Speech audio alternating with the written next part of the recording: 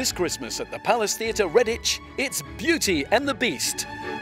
Starring EastEnders Sam Attwater. The ultimate bad girl, Nicole Faraday. She's hot. Yeah, baby.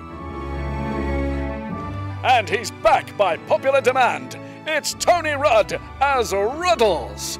As Professor Crackpot, it's Andrew Haynes. And the beautiful Natalie Turner as Belle. To book, call 01527 65203 or visit us online at redditchpalacetheatre.co.uk.